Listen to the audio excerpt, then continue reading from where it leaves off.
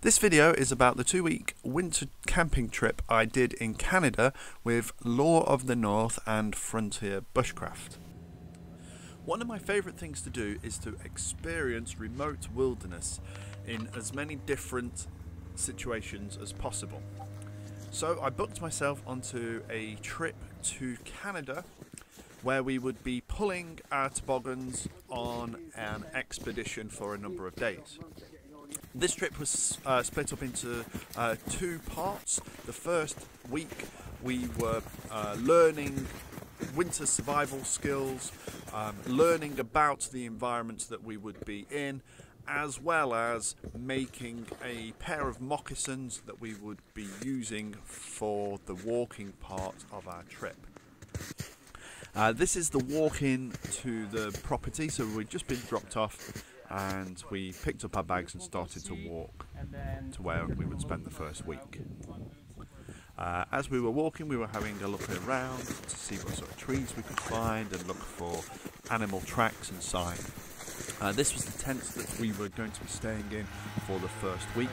There were 12 of us on the course. Uh, Hank, their dog, who joined us on this adventure.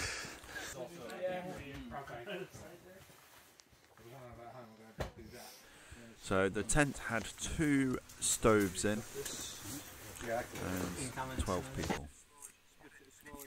Here Paul is giving us a demo on how to split wood in snowy conditions. And then the process of starting to chop the firewood.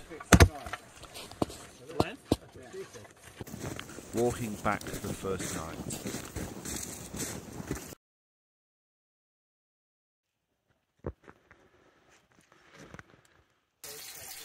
First morning cooking breakfast.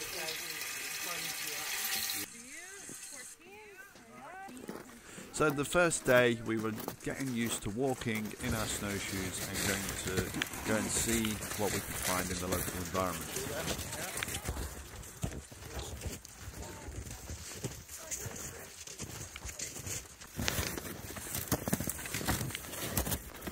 Uh, we saw several uh, animal prints, here's some moose prints, and then looking to see what other resources were around. So this is Labrador yeah, tea. pick the leaves and, and uh, or some, yeah, just a, a couple.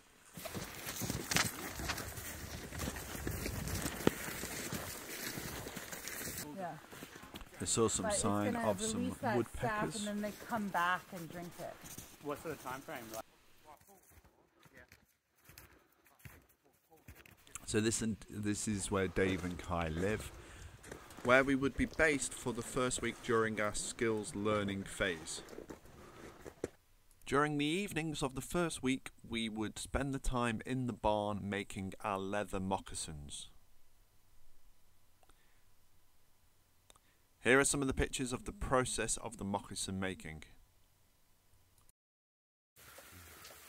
And this is our tent in the evening of the second night. The next day we were shown some firelighting techniques from Paul. Yeah, yeah. And again, there's lots of little fine edges. We built a fire to sit round and we melted some snow. Paul showed us a method of using a net to melt snow into a cup. We then built snow graves where we would be spending the night.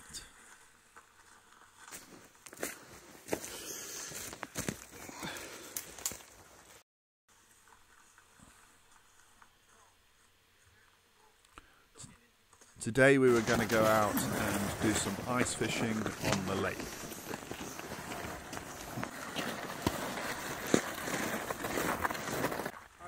Uh, Paul showing us how to use the ice auger. It has two very sharp blades on the bottom. Get that away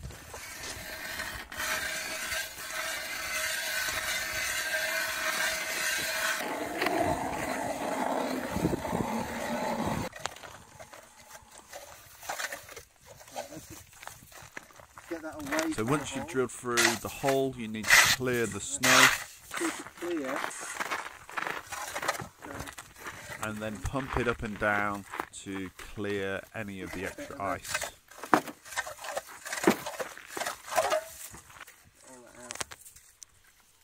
And scoop out the remaining ice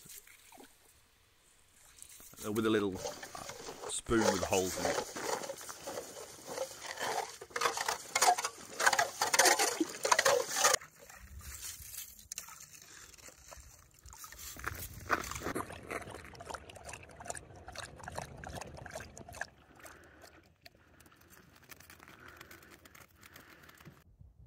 So it's time to start ice fishing.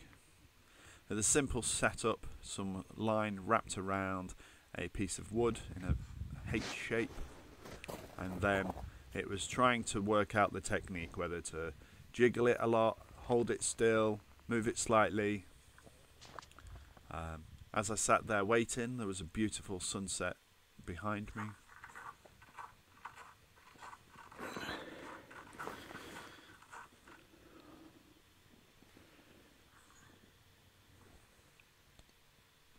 Luckily, it wasn't too cold and I didn't need uh, the gloves on all the time. Started just twitching the wire, the twitching the cord with my string, and managed to catch a fish. This was my second one. The first one got away, uh, but I did get a, a small pike, so I was quite pleased. Looking back, seeing how everyone else was doing. The next day, Dave was showing us how to harvest firewood by chopping. So I'm just you know, it's just like a little piece like that. This is a dead tree on his property that he wanted to harvest for the timber.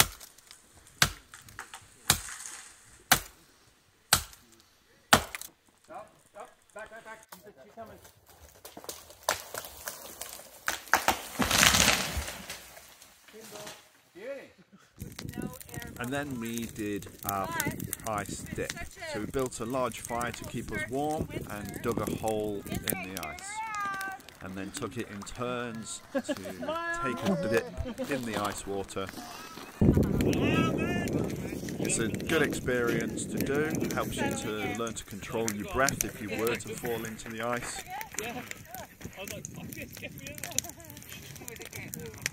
Good job, good job.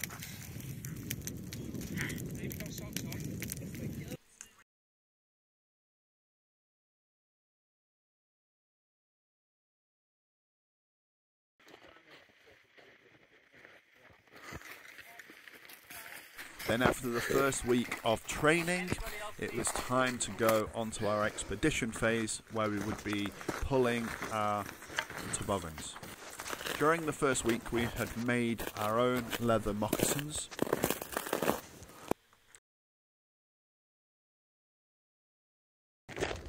And here we are all setting off on our first day of our expedition.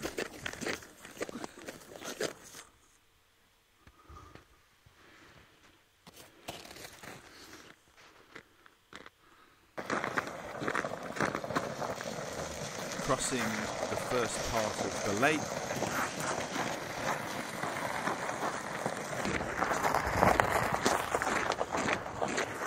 Just admiring the beautiful scenery.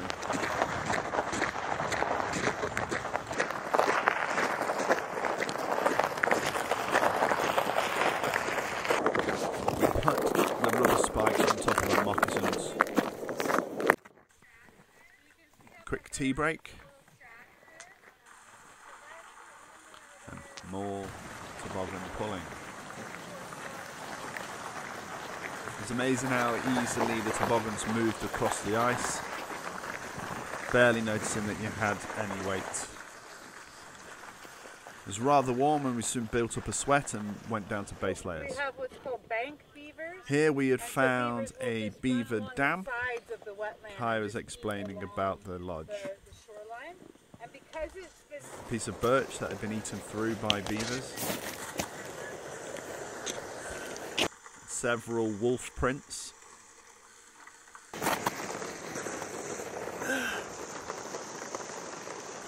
Now it was time to start our first portage.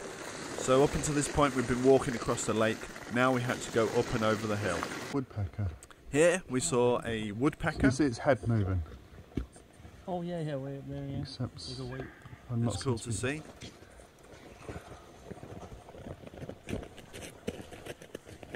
So this was our first real hill. This was one of the steepest hills that we walked up and we took it in turns to take three people to a toboggan, helping each other to pull it up and over.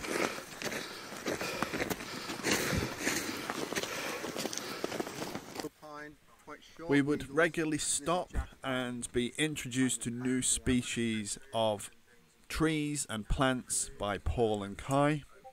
So here Paul is describing to us about different species in the Pinaceous family. Pines, hemlocks, spruces.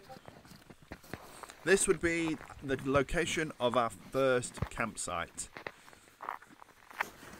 So we're just starting to set up the tents here for our first night and then straight to work for gathering the firewood. With the three tents and three stoves ran all night, we needed quite a lot of firewood. This is what the inside of the tent looked like. We put some spruce boughs down, the stove, and then an area to sleep. Everyone working hard to gather the firewood that we needed. Later on in the evening, we'd all sit round in the larger tents, telling our stories and eating together. The next morning, we would try and leave no trace, so get rid of all of the spruce boughs that we had brought down and leave it as we found it as everyone packs their toboggans up ready for the next day. Scraping the ice off of the bottom of the toboggan before walking out onto the lake again.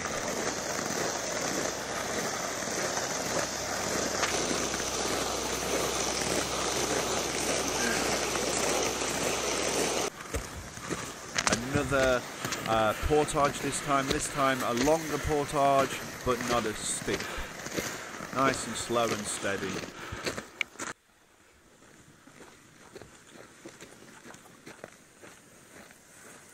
Here the toboggan and took my feet from underneath me. It was one of the first real downhills that we had. Took my feet from underneath me, camera went flying.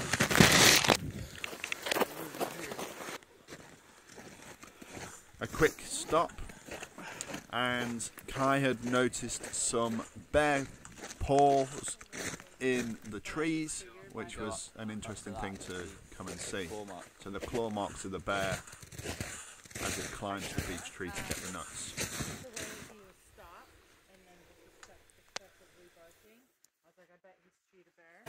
Scratch, and then that's where they've like really gripped into the wood. So after our portage, we found a place where we could stop and have another uh, drink and a snack, and another beaver lodge. Here we were going to set up snares in order to try and catch the beavers. That's the large beaver, Beaver dam. Here I'm breaking a hole through the ice with the ice chisel in order to put the beaver snare You want these to be as open as you can be. Here we had found some otter tracks. Yeah, so you know that this otter's not going far. It's got all of its, you know, prints around here, so then it's gonna dive down and then pop up somewhere else. before back out, pulling our toboggans across the beautiful lakes. Quick stop for some lunch.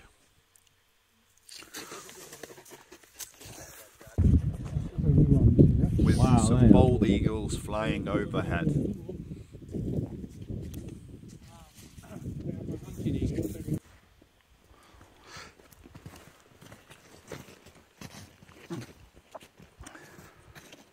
Some chaga growing on the birch trees. Very picturesque icicles forming on the cliff. And continuing to portage through a beautiful forest with that low-lying sun.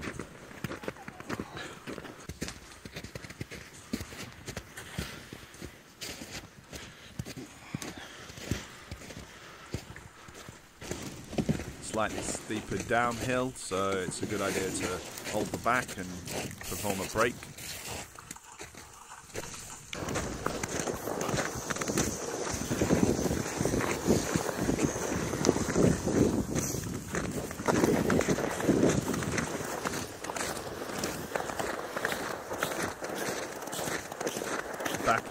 Onto the lakes where the going gets easier. Our tent set up for the next night. By now we had got into a good routine. Firewood's being gathered a lot quicker, the tent's being put up a lot easier, everyone working together.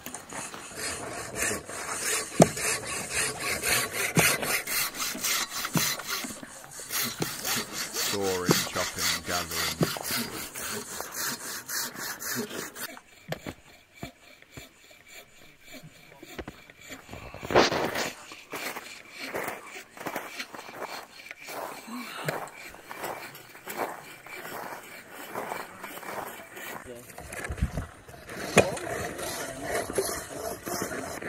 Pop them behind it to hold it down.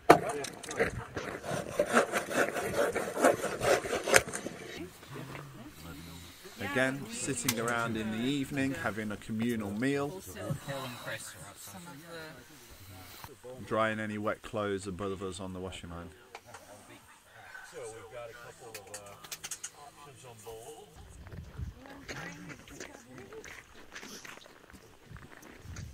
Setting off the next morning.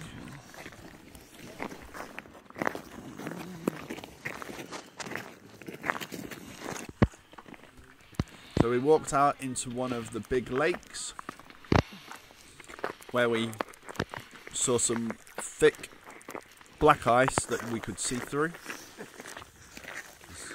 It was pretty eerie to stand on. You thought you were going to fall through, but then you realised it was it was really thick. Um, evening meal that day. The joy of the toboggan meant we could take uh, the big stoves and we could take a lot of food so we could eat well, and look after ourselves being able to split the weight between everybody, everybody taking a portion of a stove or some food or the tent. Coming back down the way we had gone the previous day.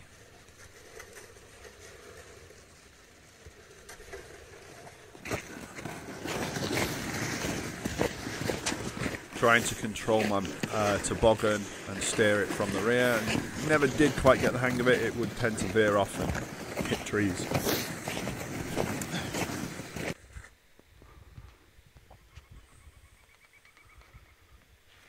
Beautiful place to sit and stop and have a bit of a drink. Adding snow to the hot water made the water go further and cooled it down. Checking to see whether we had caught any beavers in our beaver snares.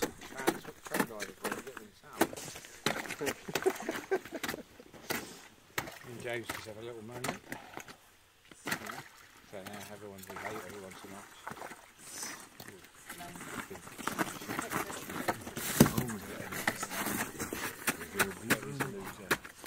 Is there a beaver in the bottom? Unfortunately, not this time. Feels pretty empty. Oh. Checking the second one. No. No beavers Time for a spot of lunch. Nice place to sit and enjoy. Uh, this was one of the first times that we needed our snowshoes. We hadn't had a lot of snow. Uh, our next camp in the woods here.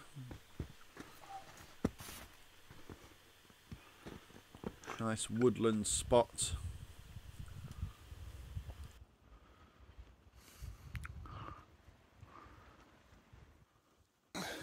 Plenty of firewood. Again, communal meals a big part of the day. Everyone laughing and joking about adventures.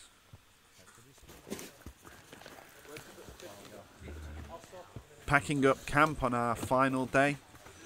Some of the space, some of the days we had spent two days in the same place. This this was one of them. and time to pull our toboggans back. The weather had started to warm up quite a bit now, um, so we had lost quite a bit of snow and it was not freezing anymore, so there was an awful lot of water lying on the lakes. Uh, it, we'd actually had uh, a bit of rain, which was very unusual for this time of year. And navigating uh, some particularly steep sections. You see the water lay on the lake from the rain and the fact that it had been slightly warmer. Uh, this was our last day walking back towards Dave and Kai's property. Time for tea. We would often stop and drink teas and soups to keep us hydrated along the trip. Thank you, sir. Thank you, sir.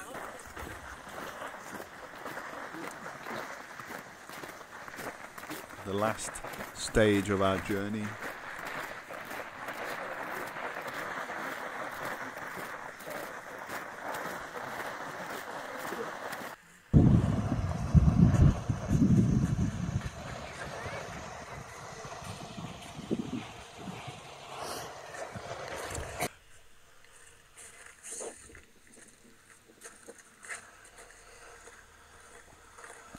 Thank you for watching. Hopefully, you've enjoyed this footage of my recent um, toboggan expedition to Canada. If you have, please leave a comment and check out some of these other videos which you may also enjoy.